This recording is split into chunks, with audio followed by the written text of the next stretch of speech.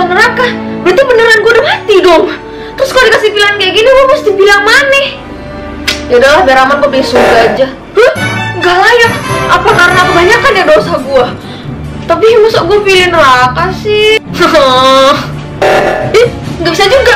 Jadi gue harus ke mana dong kalau gitu? Lu bakal jadi pencabut nyawa karena lu nggak layak di surga ataupun di neraka. wah jadi pencabut nyawa tuh beneran ada terus terus tugasnya ngapain aja Musnahin seluruh arwah penasaran yang ada di dunia. wah jadi pistol ini buat musnahin apa penasaran Yes, dan sekarang tembak diri lu sendiri. eh te- tembak diri gue sendiri kenapa Ya kalau lu hilang berarti lu cuma arwah penasaran dan nggak berhak untuk jadi Hah? pencabut nyawa.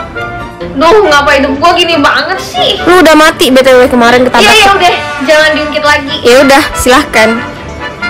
Oh iya, gue kan ada kemungkinan musnah gitu kan ya. Gue cuma bilang, gue gak tau lo apa tapi lu ganteng banget, baik. Lu ganteng banget, baik. Hmm? Gue, gue di rumah sakit. Bukannya barusan gue lagi ngomong sama Roh ganteng ya? Duduk, Pak Pasien bangun dok. Gak mungkin otak dia udah mati dan badan dia juga. Loh, kok lukanya hilang semua? Lah, iya dok. Saya bisa hidup ya? Jangan pergi dulu, kita harus viralin keajaiban ini. Apaan sih dok, lebay deh Nanti kalau saya jadi artis malah ribet lagi Oh iya, jangan lupa ya dok Kalau misalnya saya tiba-tiba mati Saya mau semua organ saya disumbangin ke orang yang membutuhkan Mah, coba cek ATM Aku barusan transfer 5M Hei, cewek gila, dari mana kamu dapat duit sebanyak itu? Ya kerja dong, Mah Dah, ah, itu buat hari tua mama ya Anak durhaka, mendingan kamu datang rawat mama daripada ngirimin mama duit. Dah, sekarang gue mau menikmati hidup Nyobain makanan baru Beli baju baru Nyari jodoh di online Tapi semuanya jelek anjir Masih gantengan roh yang tadi pagi gue ketemu Hmm, Jadi pengen ketemu lagi Oh iya, habis ini gue ke mana ya? Baru sehari gue kasih lu kesempatan hidup, lu udah mati lagi. Hmm? Lu, lu yang kasih gue kesempatan hidup lagi? Kenapa? Itu karena lu, Lu yang ngasih gue kesempatan hidup lagi? Kenapa? karena lu bilang gue ganteng. Hah? Seriusan? Kalau gitu, Oh my god, lu idaman banget sih Sumpah udah ganteng, ramah lagi Sebenarnya sih gue masih pengen ya hidup Gue masih pengen main Squid Game Gue masih pengen basi kata ganteng udah nggak berlaku lagi sama gue. Oh, kalau gitu lu manis banget Sumpah gue hampir diabetes Cuma ngeliatin lu doang Orang mati nggak bisa kena diabetes.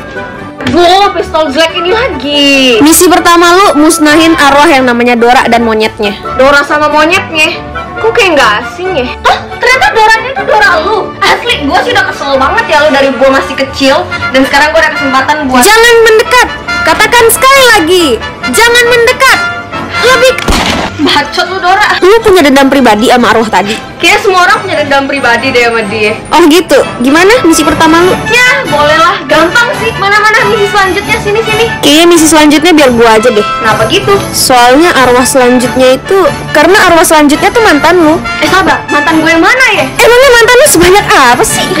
Ya nggak banyak sih, belasan doang. Eh tapi tenang aja, temen gue si Putri mantannya lebih banyak dari gue Dia bilang nggak keren kalau mantan cuma dikit. Nah deh, ini nih mantan lu yang namanya Rico Ricardo Usia 21 tahun, meninggal gara-gara kepleset kulit pisang. Hah? Cuman gara-gara kulit pisang bisa meninggal? Kenapa lu mendadak diem? Enggak, gue jadi kepikiran aja. Manusia tuh lemah banget ya. Kepleset kulit pisang aja bisa langsung meninggal cuy. Lu baru tahu, umur manusia tuh emang pendek banget. Hari ini lahir, besok udah mati. Gue jadi nyesel nih nggak nikmati hidup sebelum gue mati Mana sih arwahnya? Loh, kamu pasien saya tadi pagi kan? Kok udah ada di alam lain aja? Saya yang harusnya nanya dokter, ngapain dokter di sini? Ya biasalah namanya dokter, suka kerja lupa waktu Akhirnya kayak, oh deh Terus dokter nyesel gak? Ya jelas enggak dong Untung tuh dokter nggak jadi arwah penasaran. Oh iya, gue cuma tahu lu ganteng ya, tapi gue nggak tahu nama lu siapa. Nama? Gue gak punya nama Hmm, kalau gitu biar gue namain lu. Nama lu, kalau gitu gue namain lu Son Jongki. Gak mau, lu kira gue gak tahu itu nama artis Korea? Eh, kok roh kayak lu bisa tahu artis Korea sih? Ya iyalah tiap kali gue mau musnahin arwah cewek tuh biasanya bilangnya gini Gak mau musnah sebelum ketemu Opa Jongki Gimana kalau nama lu Sigan aja? Hmm? Sigan? Si ganteng, gimana gimana? Keren kan? Eh, emangnya lu kagak pernah jadi manusia apa? Kok nggak punya nama sih? Ya gue juga gak tahu ya tiba-tiba aja gue udah di Iya? Bilang lu gak sih? Eh, lu arwah penasaran kan? Tapi kok lu tau nama gua? Ini gue Andre Rico Ricardo, lu lupa Oh, Oke, misi kedua kita hari ini selesai Gue lagi ngomong jir sama dia. Ngapain ngomong sama arwah penasaran? Gak ada gunanya Oke, misi selanjutnya. Loh, kok nama lu ada di daftar gua sih? Nama lu, nama lu juga ada di daftar gue weh Ups, kaget ya Kalian tahu nggak ini terjadi gara-gara kalian udah jadi arwah penasaran Hah? Emangnya gue penasaran tentang apa? Ayo, penasaran kan? Apaan sih anjrit? Kalau gitu berarti gue harus musnahin diri gue sendiri dong. Eh, emangnya kalian nggak penasaran kenapa ingatan kalian dihapus? Kalian, emangnya ingatan gue juga dihapus? Gue masih nggak paham Jir sama omongan malaikat tadi Terus kenapa kita malah disuruh ke rumah begini? Hoi, Orang di foto ini kok mirip gue sih? mana? Coba gue lihat Loh, cewek yang ada di foto ini mirip sama muka gue sih? Ya karena itu emang kalian berdua. Jadi intinya demi nolongin gue, si Gan rela gitu jadi pencabut nyawa Jadi nama gue beneran Sigan gitu? Sabar, emangnya si Gan siapa gue? Ngapa dia sampai bela-belain gitu mau nyelamatin gue? Hmm, dia kakak kandung lu. Hah? Kita kakak adik? Tapi bohong. Jadi kalian tuh dulu pernah pacaran. Terus karena endingnya tragis banget, jadi kita para malaikat hapus ingatan kalian dan eh, Dan apa? Dan kita ngasih kalian kesempatan buat hidup lagi. Gimana? Tertarik gak? Enggak. Woi, seriusan aja nih pilihannya. Kalau gue nggak boleh pup sampai gue bersentuhan sama jodoh gue, yang ada perut gue meletup duluan nih gara-gara kebanyakan e-nya. Tapi mendingan gak bisa lihat kali ya. Gue yakin juga nggak sesusah itu. kok. Gue kayak dilempar ke lem gajah weh. Kagak bisa buka sama sekali. Ngintip aja nggak bisa. Mana penutup mata gue ya? Nih ya, sumpah gue baru tahu nggak bisa lihat tuh susah banget weh. Yan, gue di sebelah sini. Oh iya, lu tau nggak? Gue pengen nabrak 32 tiang dan bahkan gue masuk toilet cowok, weh. Kalau gue jadi lu sih gue di rumah aja ya. Iya, kalau gue di rumah doang sampai gue jenggotan juga gue nggak bakal ketemu jodoh gue, cuy. Ah udah, ah, bukain lagu di reso dong. Ini, gue sakit banget. Kok gue di UKS sih? Lu nggak inget lu jatuh dari tangga ya, Go? Eh sabar, kok gue bisa lihat, weh? Berarti tadi gue sempet bersentuhan sama jodoh gue dong. Eh, Yan, gue pengen ngomong sesuatu tapi lu jangan panik ya. Jangan panik kenapa? Eh, Yan, gue pengen ngomong sesuatu tapi lu jangan panik ya.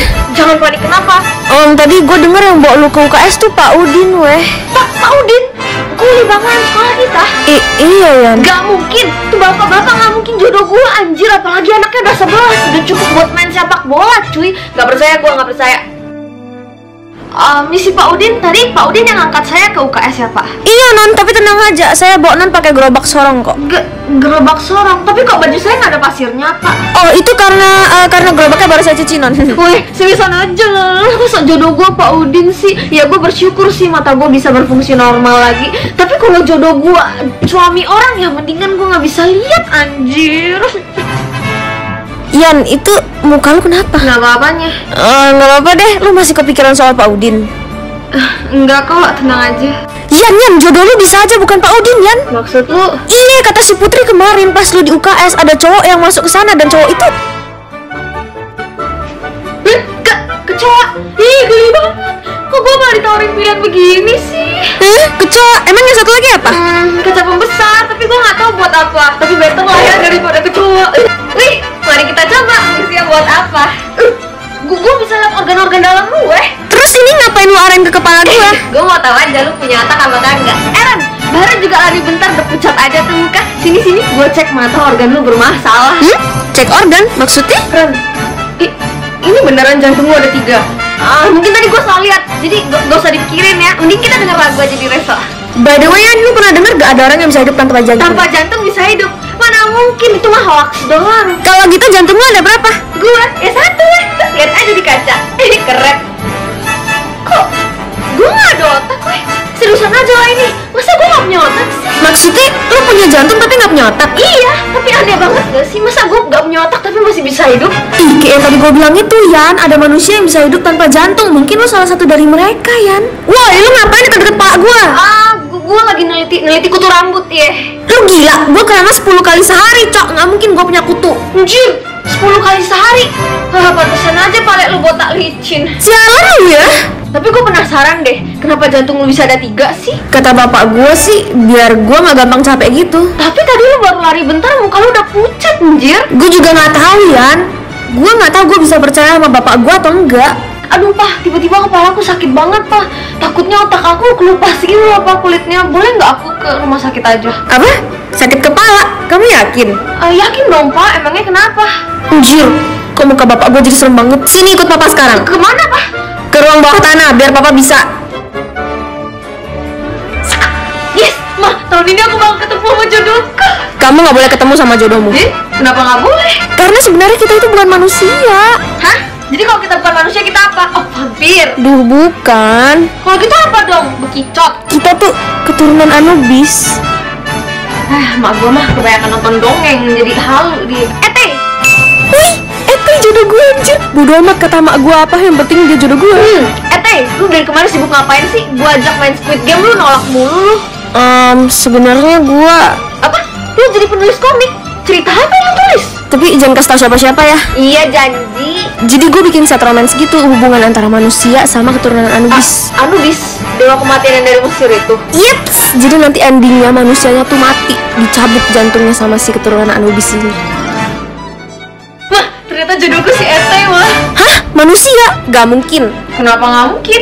Karena endingnya manusia itu bakal Yan, lo gak liat kapan jodoh lu mati? Hmm? 17 tahun. Kalau jodoh gua umurnya sama kayak gua, berarti tahun mati dong. Ya udahlah bagus. Bagus, psikopat anjir Jodoh lu cepet mati kok lo malah seneng? Ya, karena gue emang mau jomblo selamanya. Emang salah. Dek, telur lu jatuh nih, untung gak pecah Ih, ngapain sih nih cowok so baik sama gua? Eh, udah dibantuin gak makasih dong Di, kalau emang lo nggak niat bantuin ya nggak usah dong. Caper banget sih lu. Ah. Yan, Kak Eta idaman banget sih, udah ganteng ramah lagi Ah, itu mah paling luarnya doang baik, dalamnya gue yakin juga buaya. Yan, ubah cara pikir lu, gak semua cowok tuh kayak bapak lu Eh, maksud gua Gua mau berak dulu. Kok gue jadi baperan gini sih? Ah. Ih, siapa itu? Dunia ini terlalu indah Ih, kata-katanya bikin gue geli anjir. Tapi tenang aja, gue tahu kok orang kayak gue emang gak layak hidup di dunia seindah ini Um, itu buku gue weh Sorry sorry aja nih gue nggak sengaja baca buku lu, tapi apa maksudnya? Bukannya udah jelas Kan di buku itu gue bilang gue bakal Bukannya udah jelas Kan di buku itu gue bilang gue bakal Hidup sampai usia 17 tahun aja Oh gitu, selamat ya. Apa-apaan gue barusan? Ngapain gue ngurusin hidup orang? Eh kalau dia mau mati usia 17 tahun ya mati aja sana. Kenapa gue kesel? Aduh gila kali gue nih. Woi, eh iya kenapa? lu dari tadi lagi bengongin apa sih? Ah nggak ada sih. Eh Nia, menurut lu orang kayak Kak Ate ini tuh berkemungkinan bunuh diri nggak sih? Hah? Apa-apaan pertanyaan lu? Ya gak mungkin lah Kok lu bisa yakin banget? Ya lu lihat aja temennya banyak Eksis di kalangan cewek-cewek Ditambah lagi dia selalu senyum weh Selalu senyum memangnya ngejamin orang itu baik-baik aja. Eh kenapa gue jadi mikirin dia lagi ya? Bau rokok. Weh, lu gila ngerokok di sekolah? Eh sorry sorry asapnya ganggu lu ya? Ya iyalah, lagian rokok juga nggak sehat buat lu anjir. Gak sehat, bukannya gue bilang gue cuma mau hidup sampai Pian, ikut ibu ke kantor guru sekarang Bu, kok saya yang dipanggil ya bu? Kan yang merokok dia. Iya ibu tahu, tapi cuman kamu yang?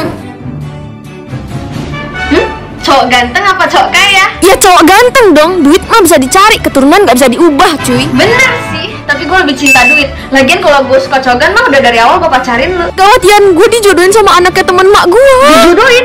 Ih, emangnya anak temen mak lu tuh nggak bisa cari cowok sendiri apa? Manja banget sampai harus dijodohin begitu? Gak tahu, aduh pokoknya lo harus jadi pacar bohongan gue malam ini, please Oke, easy peasy bro. Hmm, cakep banget dah gue. Kalau gue masuk master chef udah pasti juara satu nih gue. Titit Ih, si Ete udah dateng ya? Lu ya, gue teleponin gak diangkat mulu Ah, baterai HP gue hilang cuy. Kayaknya sih dimakan naga ya. Eh, by the way lu pakai lip cream OMG yang gue kasih kemarin Iya nih, gila teksturnya ringan banget weh Pas dipakai bibir gue jadi cakep banget nih teh sabar dulu dong Mental gue belum siap nih Loh, iya Mama, ngapain mama di sini? Kamu yang ngapain di sini? Mama dari tadi nelponin kamu gak diangkat. Jadi mama kira kamu tolak perjodohan ini. Perjodohan? Apa jangan-jangan mama jodohin aku sama Thank